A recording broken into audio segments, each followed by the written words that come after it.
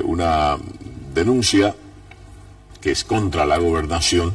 Eh, aquí se acusa de haber pagado más de 1.7, casi 2 millones de bolivianos a una empresa fantasma en calidad de compra de un carro bombero que nunca llegó, dice el denunciante. La denuncia penal fue admitida contra el gobernador en la fiscalía, dijo el diputado del MAS. Fantasma. Estamos ya acá trayendo, por ejemplo, el incumplimiento a la FP de la empresa ABM Representaciones, que se han adjudicado tres empresas, pero una, la empresa fantasma, es la que adjudica el gobernador Luis Fernando Camacho. El representante legal de esta empresa, acá está la prueba que la oficina de referencia en su página oficial, que es en la ciudad de La Paz, hace un año y medio abandonó y el contrato que firmó la gobernación con esta empresa fantasma es en el kilómetro 9, kilómetro en una vivienda particular que está, eh, está embargada por el banco por 35 mil dólares y no es una oficina. Y la referencia de la empresa, hemos ido a querer tomar un café, a, que, a comprar una llanta para mi movilidad, porque la empresa no es una automotriz autorizada de vehículos, es una empresa fantasma que se dedica a la ferretería, a la venta de llantas, a ventas de café. La fiscalía acá nosotros vamos a pedir que, que se haga una investigación contra esta empresa fantasma, no cumple los requisitos, está todas las pruebas documentadas, tenemos la dirección falsa de la ciudad de La Paz.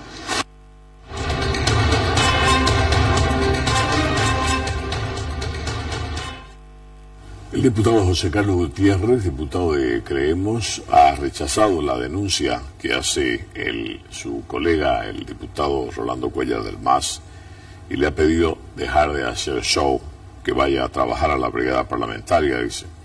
José Carlos Gutiérrez le ha, recordado que eh, ni una sola de las denuncias de, Rolando Cuellar ha sido real, ha prosperado, y le ha sugerido ir al circo al circo Chinchulín y aliarse con Manguerita. Solamente le digo a don Rolando Cuellar que venga y trabaje aquí a la brigada parlamentaria y que deje de hacer show. De todas las denuncias eh, que ha hecho, una sola ha sido real y verdad. No le ha hecho seguimiento a una sola. Por lo tanto, todas las denuncias de este señor caen en saco roto y solamente son show mediático. Ya se lo dijo un colega. De repente debe ir nomás al, circo Chinchulín y debe aliarse con Manguerita. Todo es un blef. Todo es un show. Y este señor no es serio.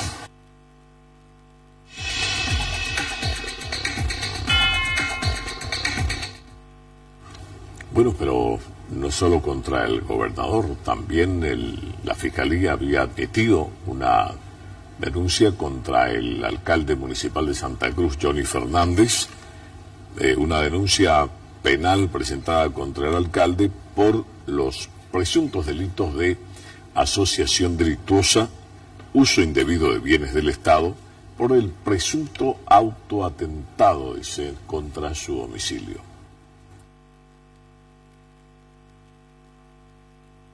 La Fiscalía de Distrito en Santa Cruz admitió la demanda penal que presentamos en contra de la máxima autoridad del Ejecutivo Municipal o contra quienes resultaron implicadas por tres delitos, entre ellos el uso indebido de bienes del Estado, ustedes recordarán que el alcalde Johnny Fernández orquestó un autoatentado como una estrategia justamente para frustrar el paro cívico de 48 horas.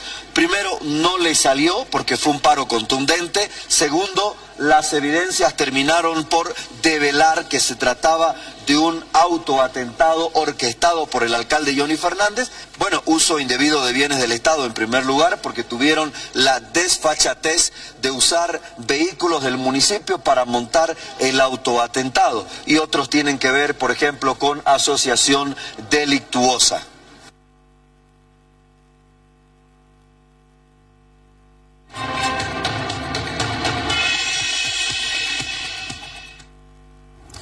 Ante la denuncia ya admitida contra el alcalde Johnny Fernández, el diputado del MAS, Sandro Ramírez, señaló que el Ministerio Público es quien debe investigar si fue un uso indebido de bienes del Estado o fue un ataque eh, hacia el atentado que hubo en el paro cívico hacia el domicilio del alcalde Johnny Fernández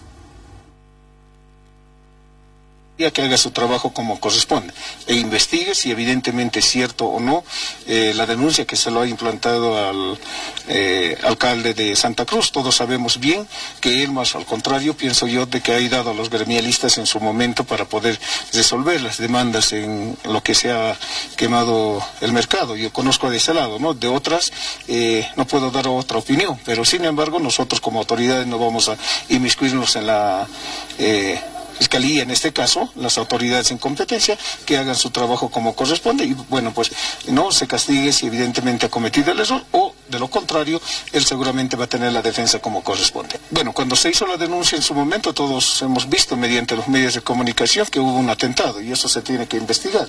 Si evidentemente es o no un autoatentado o es que realmente sí ha habido el atentado como tal cual ha denunciado el alcalde. Eso la Fiscalía seguramente va a delucidar y nos va a dar la verdad como corresponde y nosotros lo único que vamos a pedir es que hagan su trabajo como corresponde.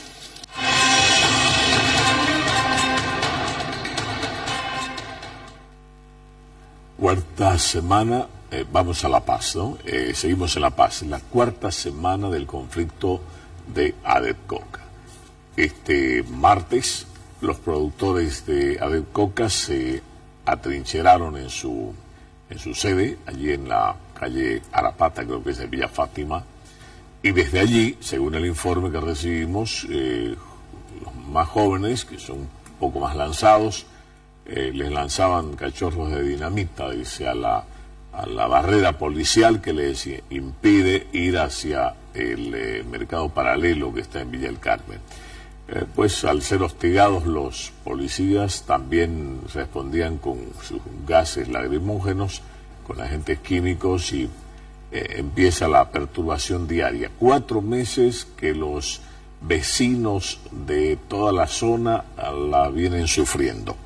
Em, hoy un policía resultó herido, pero la policía también ha optado por revisar a todo transeúnte que, como dirían ellos, haciéndose loco, camina por ahí, ante el temor de que estén llevando en las mochilas eh, dinamita o algún otro explosivo para mantener esta refriega diaria. Así arriba,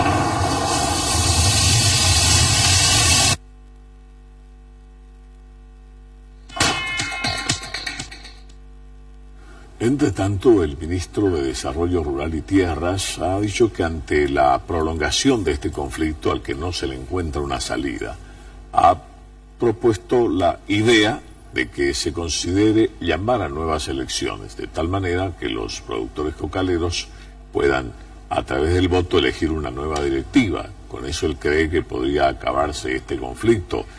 Eh, en todo caso, el ministro de eh, Desarrollo Rural y Tierras cree que el conflicto está porque hay dos bandos que se atribuyen la legalidad de, su, de sus acciones, que es la comercialización de hoja de coca. Tenemos que unir estos dos grupos, son productores, son hermanos cocaleros, no pueden estar enfrentados, dice, y para ello insiste en que debe realizarse eh, una nueva elección para elegir una nueva directiva que unifique a todos y para lo cual dice el gobierno se ofrece como mediador para facilitar este diálogo y este proceso.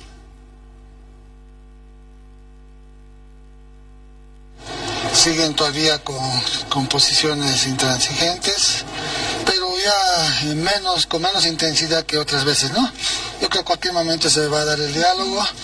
Eh, y bueno, nosotros como que siempre estamos predispuestos, atentos a que se, se, pueda hacer y esperamos que en el transcurso de esta semana se logre hacer esto. Que ver primeramente la predisposición, pues, ¿no? De aperturarse al diálogo.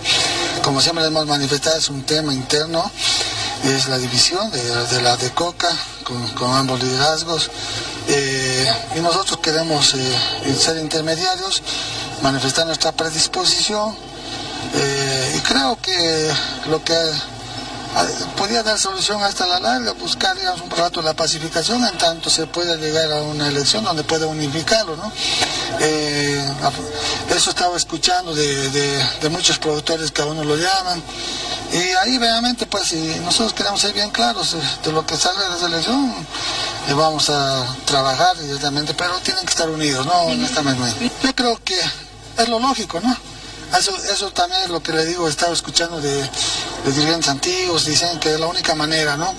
Y eso se respeta porque es democrático, ¿no? Solamente al diálogo para que busquen el camino y nosotros, yo simplemente repitiendo lo que me han dicho antiguos dirigentes, que esa sería una de las salidas. Pero tal vez se encuentran otras, no sé, pero, eh, pero eso pasa por el diálogo. Yo nuevamente reitero a ambos dirigentes que están en conflicto, de una vez prepongan actitudes y pongámonos a dialogar y generemos las condiciones de pacificar la zona de Villa Fátima y posteriormente ya pues ustedes tienen sus estatutos, tienen los mecanismos y unifiquemos de una vez la familia del productor de coca de los Yungas de La Paz.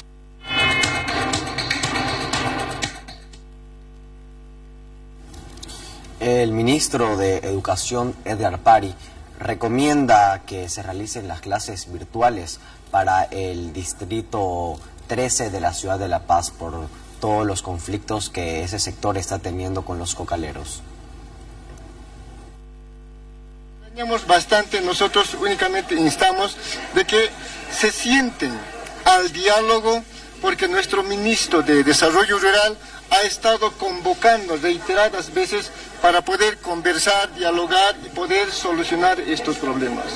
Lo primero, lo primero, lo primero, no tenemos, no tenemos en este momento, pero sin embargo son varias unidades educativas en la zona que están siendo perjudicados y padres de familia preocupados y preocupados por este hecho, no solamente por nuestras unidades educativas, también niñas y niños que se quedan en casa, nuestras personas mayores, todas nuestras familias que viven en la zona lamentablemente están siendo perjudicados. Y creo que desde ese punto de vista debemos reflexionar y sentarnos y poder dialogar y solucionar las diferencias que tenemos cada uno de nosotros. En este momento precisamente tomando en cuenta estos aspectos y peligros que está ocurriendo en la calle, en las calles, preferiblemente resguardar y desarrollar las clases virtuales y eso ya tiene que tomar una decisión nuestra dirección digital a través de nuestras direcciones de unidades educativas. Lo primero, ¿qué es lo que hemos hecho? Lo primero es preservar la salud de nuestras niñas, jóvenes, señoritas. Eso, hemos pedido las vacunas que lamentablemente ahora vienen, no es ni la vacuna ni es el virus, sino ahora es los movimientos sociales que están perjudicando. Nosotros pedimos y vamos a pedir siempre a la dirección departamental y la dirección digital que se instruya el desarrollo y la aplicación de la modalidad virtual mientras dure ese conflicto para evitar más que todo eh, problemas en nuestros jóvenes señoritas estudiantes. Parecería una broma, ¿no? Porque el ministro de Educación dice y creo que tiene toda la razón del mundo.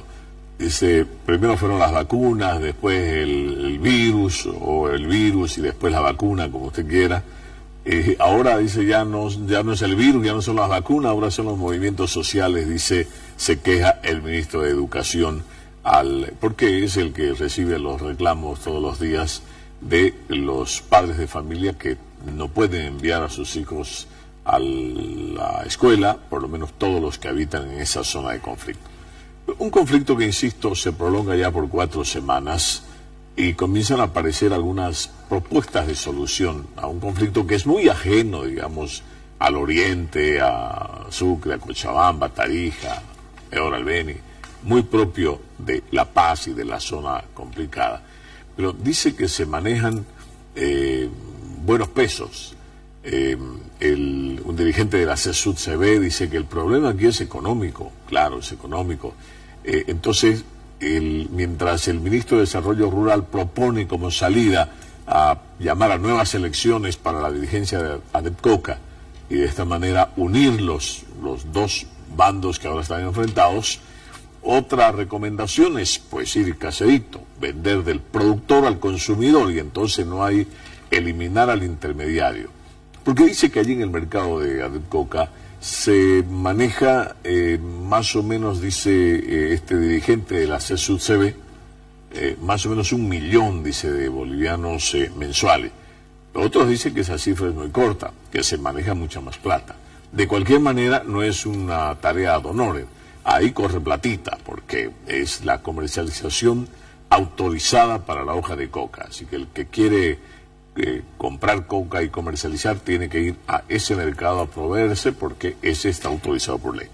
Entonces, lo que dice este dirigente de la CB es que vamos como el tomate o la papa o cebolla que llega de los valles mesotérmicos en Santa Cruz, allá dice debería eliminarse al intermediario, o sea, chau de coca, chau mercado paralelo, casero del productor al consumidor. Produces y vendes tu productito, dice en la CESUL CB, y así no va a haber quien se pelee.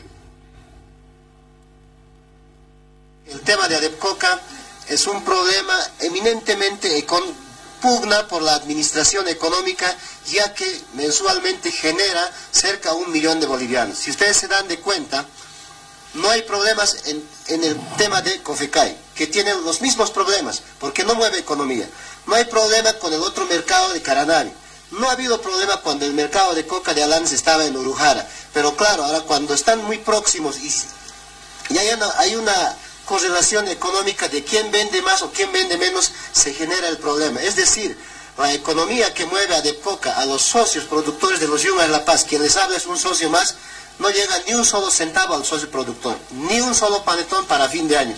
Entonces nosotros, los productores, la dirigencia, de la ve muy preocupados por esta situación.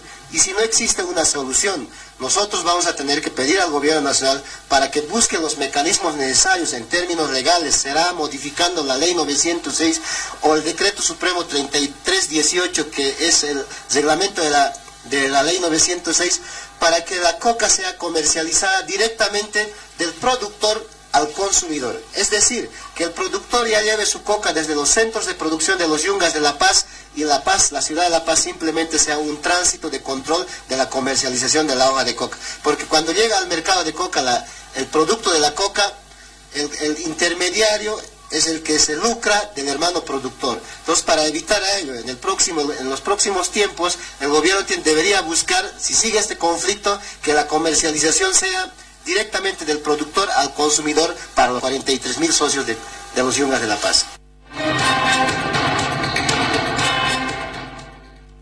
Bueno, pues así que los intermediarios habían estado en todas partes, no solamente en la venta de respiradores, no solamente en la venta de ambulancias, no solamente en la venta, compraventa de, de gases lacrimógenos y, y, y, ¿cómo se llama?, proyectiles no letales, o sea, hasta en la coca habían estado los intermediarios. Así lo asegura el señor de la CB. Bueno, pero el, tema va llegando, va avanzando cada día. El señor Alanes, que es el que dirige ese mercado paralelo, eh, ha presentado una denuncia penal, quiere meterlo preso al dirigente de ADEP Coca, al señor Machicado. ¿Y de qué lo acusa? Instigación pública a delinquir. Dice que por ahí lo va a meter preso porque dice que están molestando a la gente, están causando heridos, están usando explosivos, atentando contra la, la humanidad de los vecinos, pero que además dice que llevan algunos sus bazucas, ¿cómo serán, no? Y con esos disparan sus cachorros de sus explosivos, dice. Así que hay ya una demanda penal contra Machicao. Una denuncia formal contra el señor Freddy Machicado. Esto nace ante una emergencia, ante todos los actos violentos que van en contra de nuestra familia cocalera, no solamente por la familia cocalera, sino que también lo estamos haciendo para hacer justicia en honor a todos los vecinos, tanto de Villa Fátima, de Villa El Carmen, porque está instigando de manera pública, está convocando a tener actos delictivos, armados, con explosivos, con artefactos, eh, con bazocas, que están yendo en contra de la integridad física. Instigación pública a delinquir es uno de los principales delitos. Vamos a ampliar la denuncia también con las otras personas que estén convocando de manera pública. Sin embargo, estamos presentando en emergencia ante toda la violencia que hemos sufrido nosotros como Adepcoca departamental y también la vecindad, porque nosotros también ya somos vecinos de la zona de Villa Carmen, asimismo también la zona de Villa Fátima.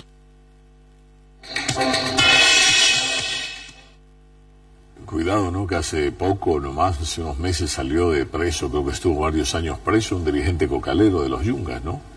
Que, de nombre Franklin, no estoy seguro del apellido, si era Flores Gutiérrez, pero un Franklin que estuvo preso, se lo llevaron y estuvo adentro. Pero que el, el aludido, que es Freddy Machicado, que lideriza a los de Adep Coca, ha dicho hoy que eh, le tiene sin cuidado lo que haga el del mercado paralelo. En todo caso, solo estamos defendiendo la legalidad. Y la ley dice que el único mercado autorizado es el de Adep Coca de Villa Fátima, dice Machicado, al indicar que, de otra parte, iría ante la justicia y se verá, pues, si es una justicia imparcial, dice el otro dirigente. Sí, el día de hoy justamente la parte jurídica nos ha informado de que hay una denuncia en contra de mi persona por parte de este sujeto, ¿no? Alanes. Eh, yo siempre le he dicho y le voy a volver a repetir, a mí me tiene sin cuidado lo que hago o lo, lo que deje de hacer este sujeto, porque simplemente yo, juntamente a todos nuestros hermanos socios, estamos pidiendo a las autoridades de gobierno que cumplan la ley. Y si es delito pedir el cumplimiento de la ley o de las normativas a las autoridades de gobierno, pues ya las autoridades que imparten justicia dirán. A ver, veremos si hay una justicia imparcial dentro de nuestro país o bien la justicia responde a fines políticos, no es partidario. Entonces prácticamente nos dio tranquilo porque sabemos que simplemente estamos haciendo eh, estamos pidiendo que se nos respeten nuestros derechos, que se nos respete nuestra institución. Ese es el único pedido que se les ha hecho a las autoridades de gobierno, pero sin embargo ellos se meten de esta manera a aquellos, aquel sector que solamente está pidiendo el cumplimiento a la ley.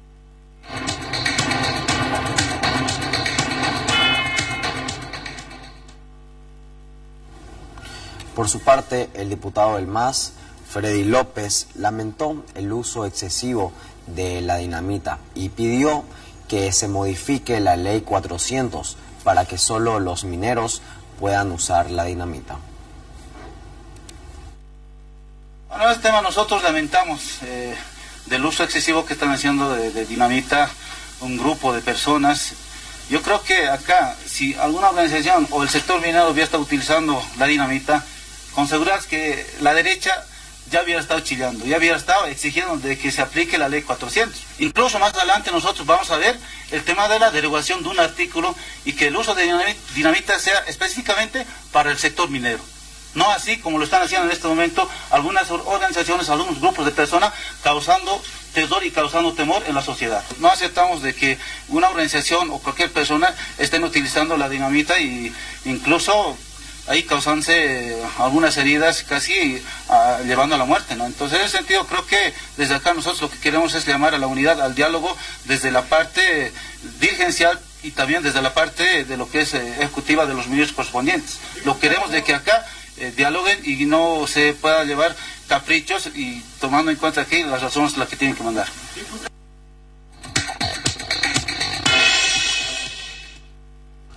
Pero las propuestas de solución a este conflicto son variaditas, ¿no? Variopinto. El uno propone elecciones, elegir una nueva directiva de ADEPCOCA y unir los dos grupos. Otro eh, propone que, la, que se elimine a los intermediarios, se elimine el mercado, ese mercado de ADEPCOCA y la venta se haga directa del productor al consumidor aparece también una tercera propuesta. El senador de Creemos, Eric Morón, propone un nuevo sistema de gobierno para este país, el sistema federal.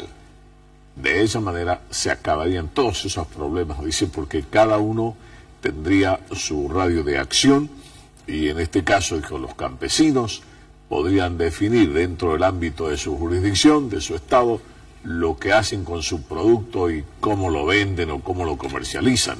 Esa es una cuestión que interesa o debe interesar a cada región. En este caso los cocaleros tenían que encontrar la mejor manera de comercializar su producto. Eh, el federalismo, dijo, es un sistema de gobierno que terminaría con este y muchos otros problemas que aquejan al país. La solución, por eso, es una Bolivia federal donde se respete al campesino, a las regiones y a las áreas productivas que tiene nuestro país. Aquí lo que está claro es que hace falta poner orden e institucionalidad en el país. No puede ser posible que una región productora de coca no tenga el poder de decidir cuál va a ser su mercado para la hoja de coca. No pueda decidir cuál va a ser el precio de la hoja de coca cuando existen leyes aprobadas en el país que ampara y da la facultad a quien corresponde. Existe un manoseo de institucionalidad en el mercado de la hoja de coca. No dejan que las regiones, que el campesino, que el campo, que los departamentos decidan qué hacer con su producto. No lo dejan decidir ni su mercado, ni su precio, ni a quién vender. Ese es el problema que tenemos en el país y el cansancio y el agotamiento de estos 15 años de este modelo centralista. Por eso nosotros, desde la bancada de Creemos, con nuestro líder Luis Fernando Camacho, hemos realizado la propuesta de una Bolivia federal. Porque esa es la forma en que las regiones y el campo puedan no solamente decidir qué producir, sino que también pueda decidir a quién vender, a qué precio vender.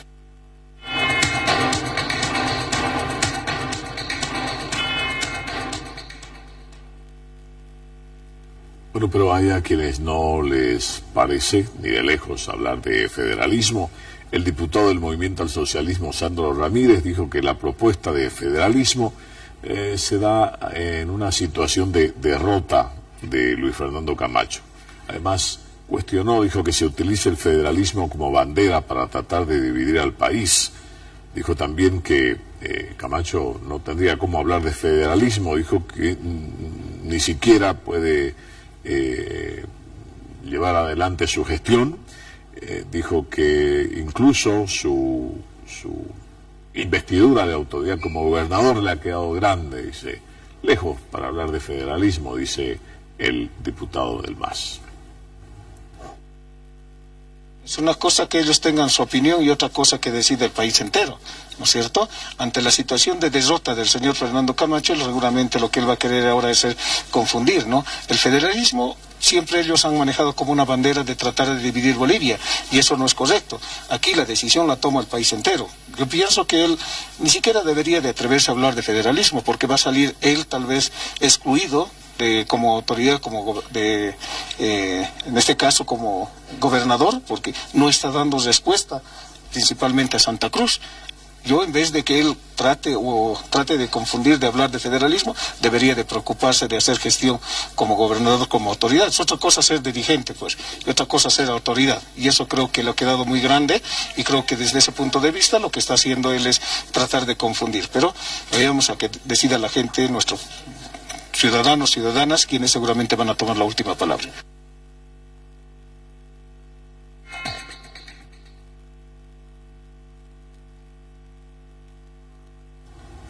Ahora cambiamos de información y nos vamos donde el director departamental de la FELCC de La Paz informó que dos padres se, se encuentran aprendidos, dos padres de la zona del sur de Villa Fátima fueron aprendidos preliminarmente por un homicidio culposo contra su bebé.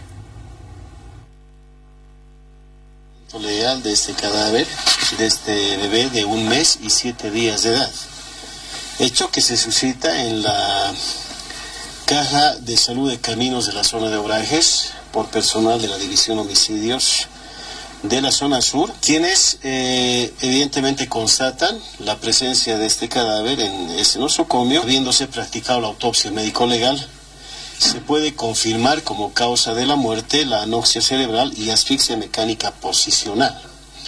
Entonces estaríamos descartando eh, la causa de eh, broncoaspiración, que esta causa ya ha sido confirmada por la pericia, vale decir la autopsia médico-legal, dándonos como causa lo que se ha mencionado, ¿no? Eh, asimismo, por presumir un comportamiento negligente de los padres, toda vez de que ellos mismos han admitido que noche antes ambos padres habían estado departiendo bebidas alcohólicas, entonces procede también la, la aprehensión de ambos padres, siendo que se pone a conocimiento al Ministerio Público, tendríamos que asumir por un delito de homicidio culposo, ¿no? Entonces nuevamente acá lanzamos la recomendación, ¿no? Aquí lamentablemente se ha tenido que sopesar la muerte de este infante de un mes de edad, en este caso por... Eh, una situación de descuido de los padres, ¿no? que habían estado departiendo bebidas alcohólicas de manera irresponsable, ¿no? teniendo un bebé tan pequeño.